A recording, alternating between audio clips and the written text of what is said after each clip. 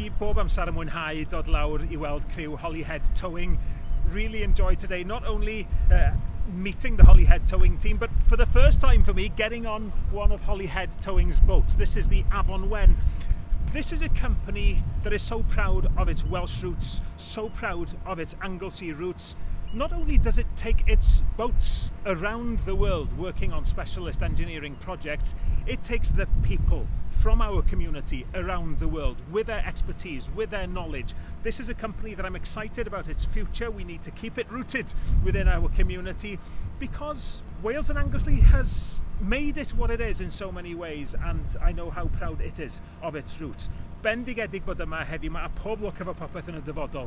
This company's got uh, so much more uh, to come for it in years to come.